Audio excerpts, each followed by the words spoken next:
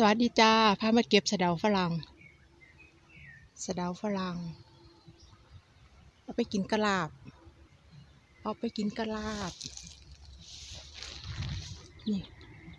กระถินฝรั่งจากกระถินฝรั่ง เออบอแมนบอพีดสะเดา สะเดาฝรั่ง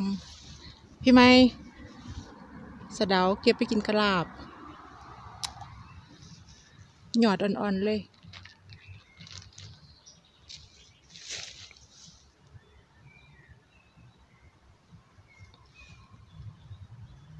ก็บไปกินกะลาบเนาะไปแกงก็ได้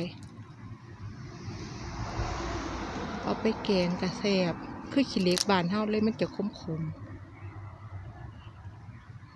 เนี่ยมเห็นบ่ล่ะแดดมันส่องพักสะเดาฝรั่ง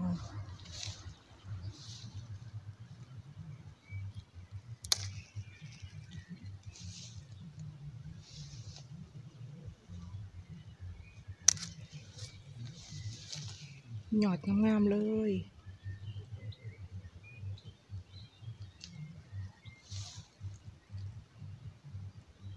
จ้า ถ้าชอบคลิปนี้ก็อย่าลืมกดไลค์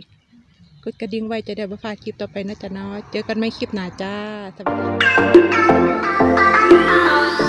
ดี